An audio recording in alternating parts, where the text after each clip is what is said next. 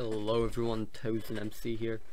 And in this video I'm going to show all you guys how to download the World Edit mod for Minecraft 1.12.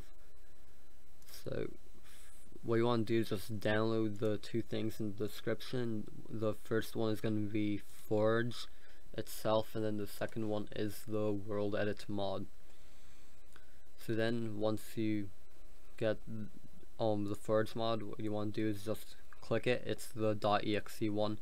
This one is the World Edit mod. And then just, just click it and it should start opening. Once it opens, just go here, install client. You can have this on or off. I just prefer to have it off. And okay. Okay, once that's done, you can just go to your percent app data percent go to and create a new folder. Right there. And just take the world edit mod and why isn't that alright uh, well you take it and just drag it in there. Or you're done there.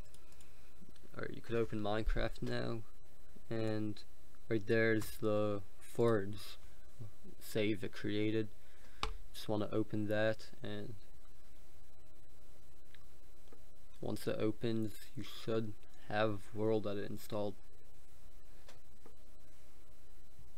Okay it's opening here.